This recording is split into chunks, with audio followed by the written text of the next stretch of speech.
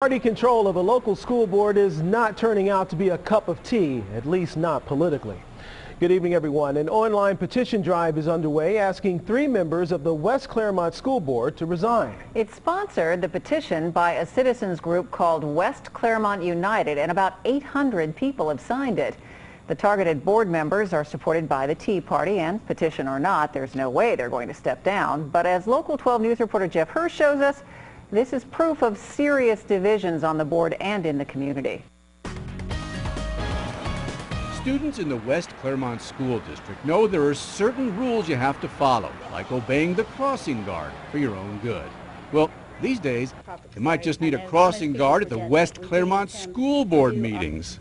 There hasn't been a vetting process. Why would you do With this? that itself alone is going to save us money. You don't know that. That was just part of the battle between the board's new majority, three Tea Party endorsed members, and the two others.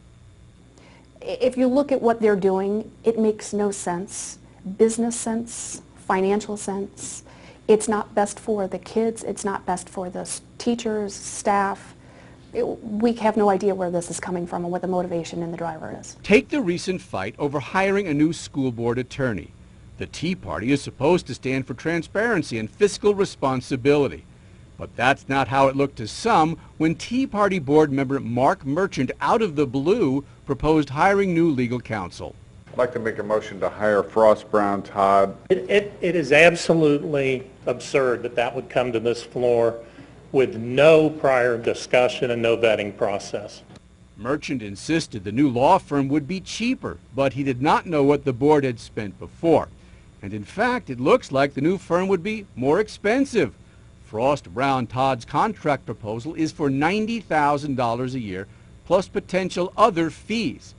But the average annual school board legal expense the past three years has been 75,500 annually.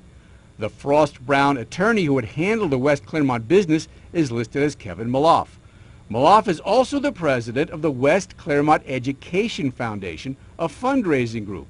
And also on the board of that foundation, Tea Party school board members Mark Merchant and Tina Sanborn. This kind of looks like this was some people trying to hire a friend of theirs. Is that what it was? No, no friendships involved. It's strictly a financial scenario where we're trying to get the best legal representation we can for the dollars spent. Superintendent Keith Klein said he was told by a board member to hire Frost Brown Todd. I was asked by a single board member to uh, take a look at Frost Brown and Todd, or actually move to Frost Brown and Todd. Um, I'm sorry, you were given direction to do that? Yes. Yes. which would be illegal. Only the full board can order such a change, not an individual member.